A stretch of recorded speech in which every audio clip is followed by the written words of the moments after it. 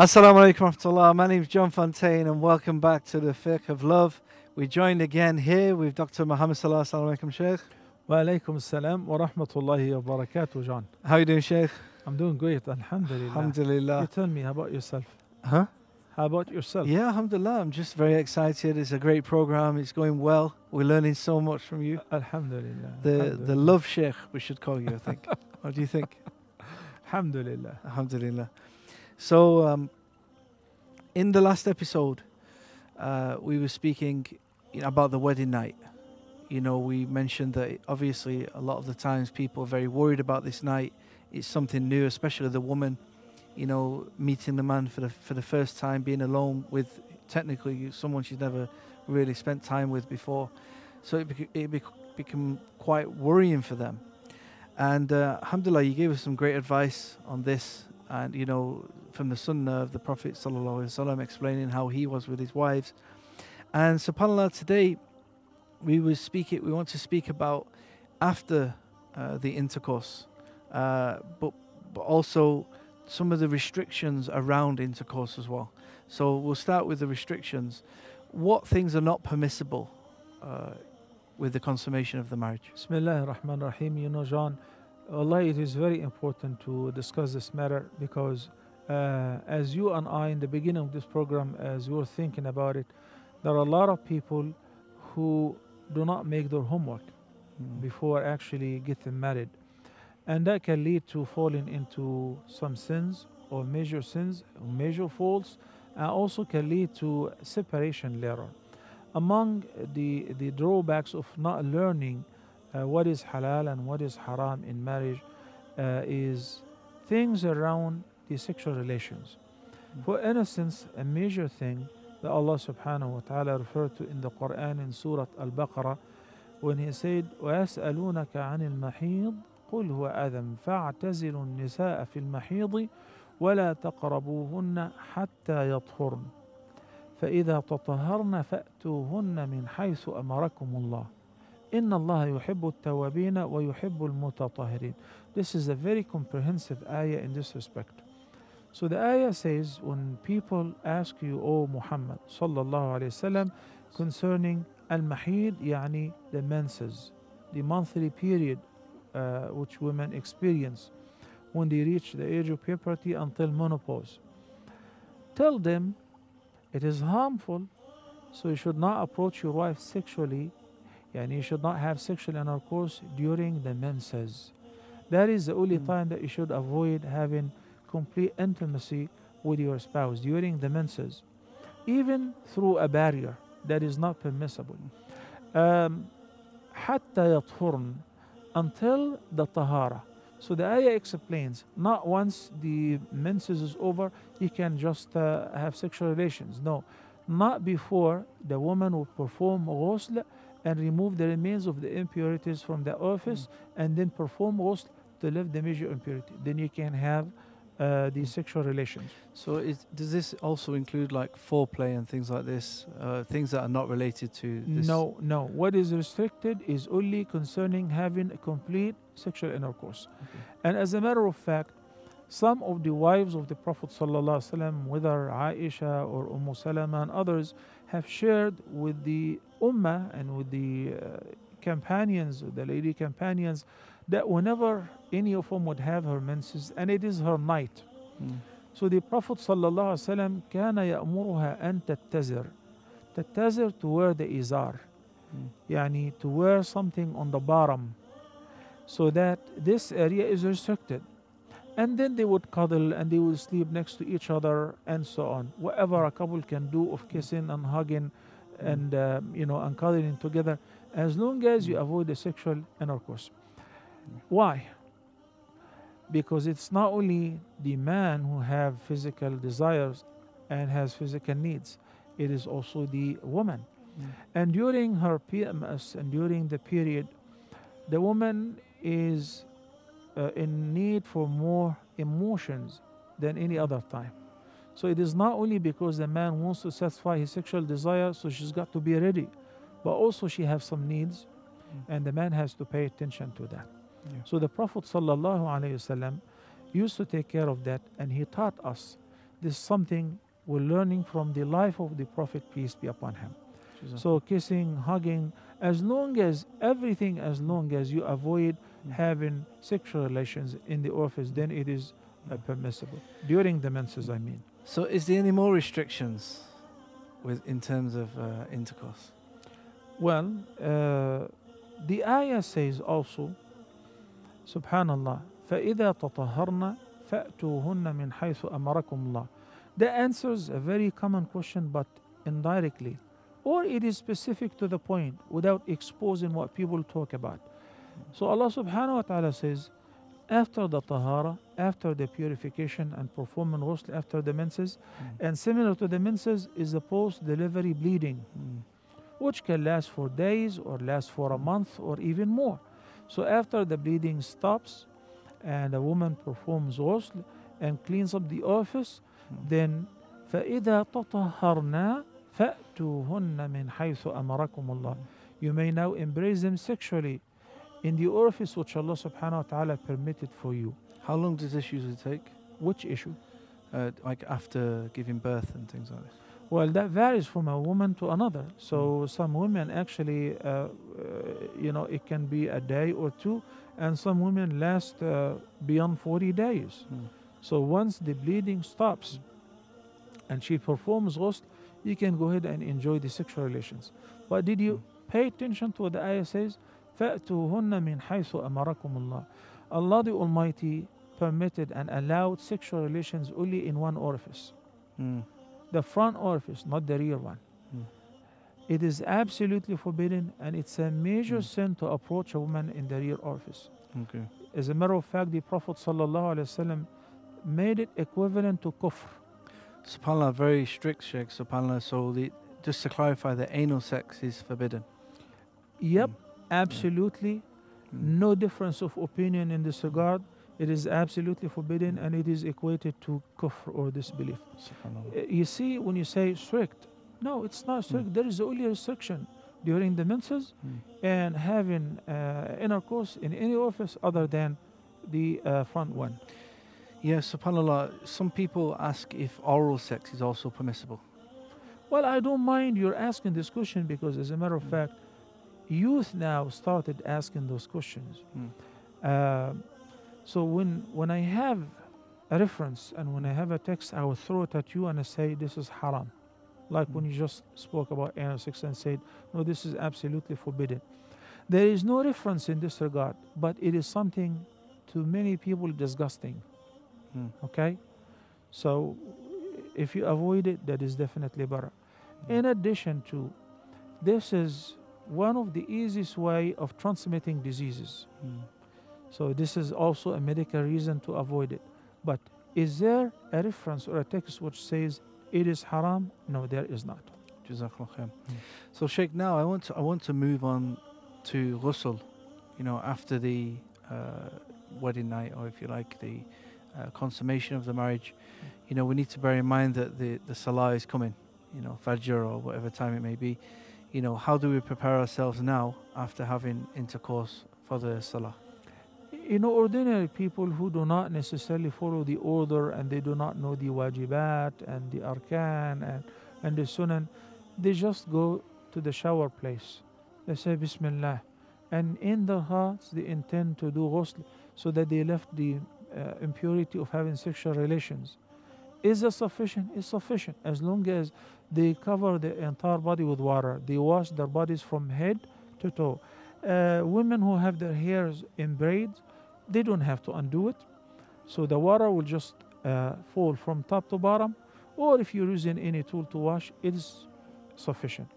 If you're talking about the proper order and the sunan and the adab and the etiquette, then we can explain in, in further detail if you're interested.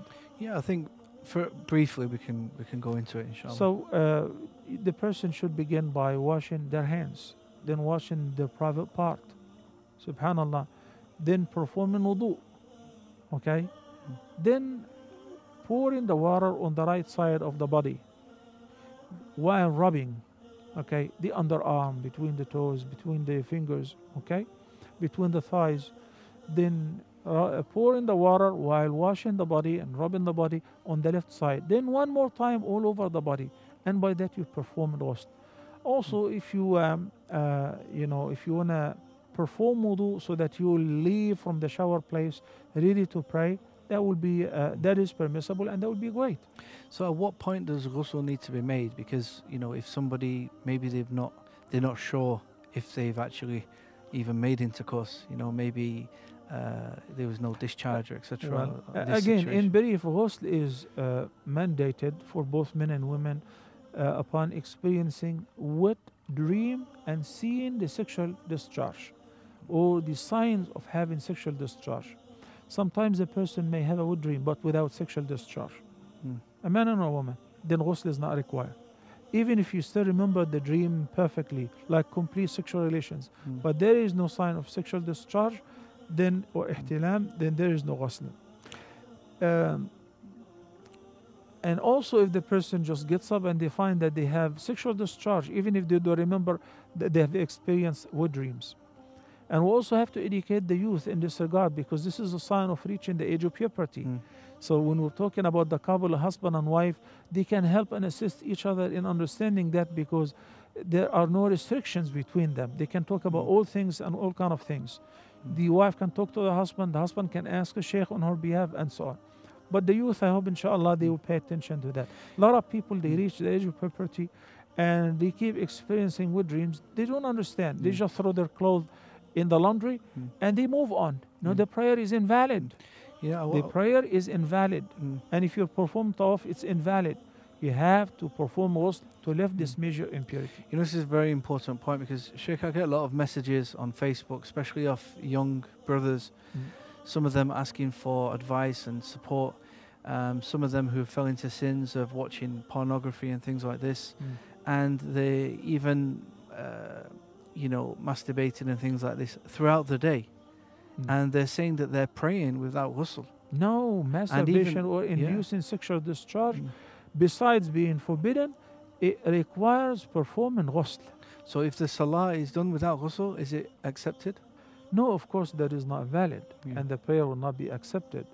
Besides the fact that masturbation is forbidden, Mm. or inducing oneself to release sexual discharge by any mean other than having a valid relationship with the spouse, that requires ghusl as well. Mm. So there is a sexual discharge due to wet dreams, due to sexual intercourse. Due to masturbation, due to masturbation, it requires ghusl. And if the person doesn't know and he prayed like that, the prayer is invalid. As a matter of fact, we're not here only teaching the couple who are already married or about to get married. Our youth who reach the age of puberty, not too many of whom attended fiqh classes, Mm. they don't understand that what dreams require ghusl. Yeah. And sexual discharge due to masturbation, it's haram and it requires ghusl. Mm. You cannot read Quran with this kind of Mm. impurity. You cannot um, enter the masjid. You cannot offer the prayer. You cannot perform tawaf because you are in a state of major impurity. Mm. You must perform ghusl.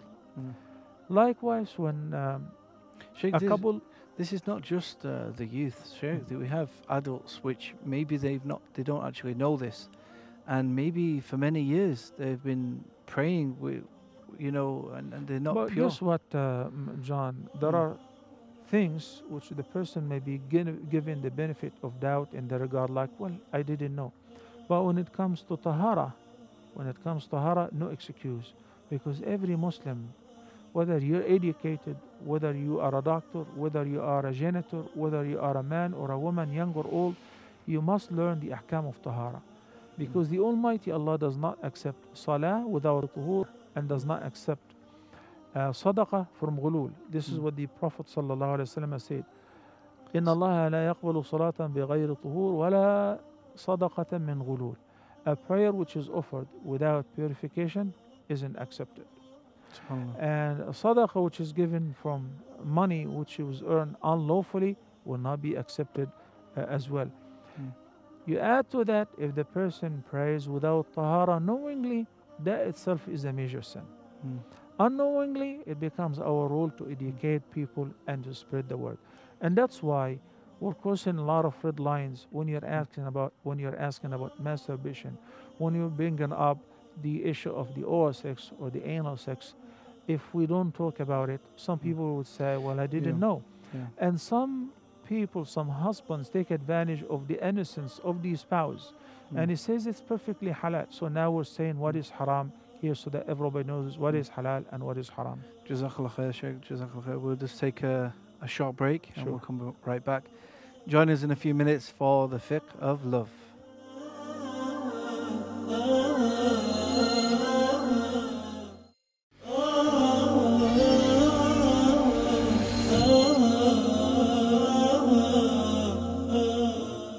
Assalamu alaikum. My name is John Fountain and welcome back to the fiqh of love. Assalamu alaikum, Sheikh. Wa alaikum salam wa rahmatullahi wa barakatuh. Sheikh, you know, some viewers may find this topic or these this uh, episode uh, quite strange to listen to because Explicit. yeah, because explicit that's a good word because in a lot of cultures these things are not addressed.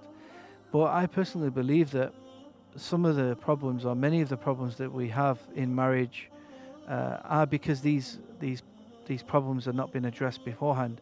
So so although it may be taboo in some cultures, I think it's uh, very beneficial uh, that we actually cover these things. So jazakallah. Thank you for. uh, Uh, uh, our children at schools are learning sexual education mm, and unfortunately not in the positive way rather Mm. in the very negative way yeah. so whoever thinks that the youth and the children do not know much actually he's the one who doesn't know much Yeah. and uh, whenever a woman came to the prophet sallallahu alaihi wasallam and said o prophet of allah inna allah la yastahyi min al haq. allah doesn't shy off to say the truth and present the truth so i have a question and the question was pertaining to women issues if this woman did not ask this question and no one have asked this question it would have still uh, been vague Mm. and people would wonder uh, about the answer. But this woman, Umm Sulaim, came to the Prophet ﷺ and asked the question. It was about women experiencing wet dreams, Mm. you know, because it's about tahara. It's about offering the prayers, because without tahara, I cannot offer the prayer. And it's not only once or twice. That is something that happens very oftenly, and it happens to most people. Yeah, subhanAllah. So even from the early generations, we see that we should ask these questions if we don't know. Of course. It's very important. So, Sheikh, uh, I also wanted to ask you. We were speaking about ghusl just before the break, and is it okay for a husband and wife to bathe together? You know, to wash together in this. You know, to Yes, indeed, it is Yeah. permissible. And Aisha radiallahu anha said that she and the Prophet sallallahu wasallam, and we're talking about the Prophet sallallahu alaihi wasallam, they used to bathe together, and uh, they used to take water from the same uh, uh, vessel, and he would say, "Leave some for me," and she would say, "Leave some for me." You know, why would Aisha narrate to us something like that? It is in order to tell us what is halal and haram in this regard so that some people who would have the concept of now this is haram why because it doesn't uh, click in their mind so Mm. they they make it haram or they make it halal based on their hawa you Mm. know what they think Yeah. of no it's about what Allah or his messenger sallallahu alaihi wasallam made haram or halal so bathing together a Mm. husband and wife is perfectly legal and halal Jazakallah khair. So, in terms of uh, you know having experienced the the night of marriage, uh, you know consummating the marriage, how important is it to keep these matters private? It is extremely important not to speak about the personal relationship between the couple before anyone, not even your brothers or sisters, your close friends. In the hadith, which is a sound hadith, the Prophet ﷺ said, Inna min shirar al khalqi yawm al qiyamah, among the worst people on the day of judgment, a man who would have sexual relations with his spouse, with his wife, and then he would share that with his friends, with people and a woman would have sexual relations with her husband and she would share that with her friends What goes on behind a closed door and in bed should be kept between the husband and wife completely. You may say, what about if there is actually a clinical issue and I'm consulting a doctor with regards to some sexualities, some pain that the woman feels during the sexual relations? So she is explaining to her what happens. Is that permissible? This is different because this is for a medical reason and with conditions. What the Prophet ﷺ was referring to is the joy in sharing what happened in bed and what kind of sexual position we had last time uh, or last night and how many times we had sexual relations. All of that should not be discussed with no one other than the couple themselves. So, in terms of uh, sexual etiquettes, what type of sexual etiquettes do we have examples of in the Sunnah? Um, as long as you avoid what is forbidden, then anything else is permissible or even recommended.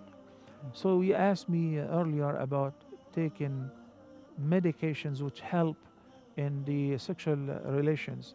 If that is prescribed by doctor, it's permissible. Wearing perfume, applying some lubricants or whatever would facilitate this problem, consult your doctor in this regard. A lot of people experience severe pain in the sexual relations. It shouldn't be painful, it shouldn't be problematic, it shouldn't be a torture for the woman. Mm. It should be uh, joyful, it should be um, a, a means of happiness and pleasure, experiencing pleasure and satisfying the sexual desire. But many women uh, complain that they feel that they are experiencing severe pain because the guy is like a monster. Yeah. Uh, he doesn't understand that it's a matter of introduction, foreplay, taking it easy, and also using whatever is prescribed by uh, doctors or as far as medications or things which would facilitate this Mm. process and make it smooth. Sheikh, we have a question uh, regarding is it permissible to have uh, intercourse in the bathroom? You know, somewhere where there's a toilet. Yes, it is permissible, Mm. whether in the bathroom, in bed, on the couch, on the sofa, that is all permissible. Yeah. And also, But one thing Mm. we, we, we need to mention, and it is really important uh, as far as the consummation of the marriage, and on every single time that the couple would have an intimate relationship, uh, it's a supplication that the Prophet ﷺ recommended to be recited by the couple before having sexual intercourse, which is Allahumma jannibna shaitan wa jannib shaitana ma razaqtana. The supplication is amazing. You are asking Allah the Almighty to keep Satan away from you while having the sexual relationship, and also you're asking Allah to protect your child if you were to have a child due to the sexual relations, if your wife gets pregnant as a Mhm. result of that. So may Allah protect the child from Satan as well. Uh, it is due to the fact that the Prophet ﷺ said, whenever somebody enters into his house, if he says Bismillah, mentions the name of Allah, then Satan and his followers, if he's bringing his gang with him, they will not be able to enter the house. Mm. They will kept, be kept outside. But if the man and the woman and the child and the grown up just walk in and they say nothing, they do not mention the name of Allah, they come in and they bring Satans with them into the house It creates a lot of problems, a lot of fights at home. Then also at the time of eating, the Prophet ﷺ said, if the person starts eating right away without saying Bismillah, Satan and his gang and his followers, the rest of Satans will come with him. They enter the house. Now they will enter uh, into the dining room and they will enjoy dinner with you as well. And the Prophet ﷺ said, As shaitan will say, ضمن العشاء. We guaranteed dinner tonight here. So we guaranteed lodging and we guaranteed dinner. Mm. Then if the person was to have sexual relations with his or her spouse without saying the supplication, shaitan will be involved as well. Mm. So it's highly, highly recommended upon every time that we're having sexual relations to say, both say, Allahumma jannibna shaytana wa jannib shaytana ma razaqtana. So if they are being blessed with a child, then he will be protected from a shaitan, he or she. Jazakallah khair. Sheikh, just before we finish, I want to speak about romance and the language of love. Mm. What are some of the ways we can speak to our I, thi- partners? I think you know And- better. and I'm not just speaking about Mm. how the man can speak to the woman, I'm also speaking about how the woman can address the man as well. You see, now the husband and wife are closer to each other than their own parents Mm. and their own siblings. The ayah describes this relationship in a very eloquent way. The Almighty Allah says, Hunna libasul lakum wa antum libasul lahun. Al libas is the garment. Your wives are like your garments, and you are to your wives are like their garments, which are the closest thing Mm. to their skin, to their bodies. So one has to take every advantage to share with his or her spouse their feelings and even to exaggerate that creates love exchange gifts the prophet sallallahu alaihi wasallam said tahadu tahabu so whenever she is fixing a very nice and delicious meal you're walking home anything some roses uh, not every day you're gonna buy a gift Mm. not As every day long you're gonna buy a doesn't ring have hay fever. you, know, you see some people buy flowers, that yeah. she gets sick. الكلمة الطيبة صدقة. When you ring the bell, you have the key, but you intend to ring the bell. Maybe she's in the kitchen. Mm. She's not ready yet. So especially if you happen to come earlier, you ring the bell. Who's it? That's me, honey. So she would run and you know wash her face, comb her hair, okay, or she would open the door and she say, you know, uh, give me a minute. She needs to fix herself. That's nice. You have to appreciate that as well. You know the Prophet sallallahu alaihi wasallam, whenever he was traveling for umrah, for jihad, for an expedition, Mm. he would not come home right away. He would come and begin by the masjid. So that's ringing the bell. Everybody knows the Prophet and his companions have returned. They didn't have cell phones. Mm. They didn't have WhatsApp or social media. So their wives do not know that they have come back. So when they come to the masjid, the word will be spread and the wife will prepare herself and get ready. And if the Prophet ﷺ have arrived at night, he will encamp outside Al Medina and he would not enter Al Medina, not to surprise his wife, so that men would not surprise their wives at night. This is a lot of beautiful prophetic etiquette that we need to pick up. Beautiful, Sheikh. That's all we have time for today. So uh, hopefully we can carry on with that next time, inshallah. Jazakallah khair for joining us. And uh, we'll see you next time, inshallah. Inshallah. For those of you at home, join us next time for another episode of the Fiqh of Love. Assalamu alaikum wa rahmatullahi wa barakatuh.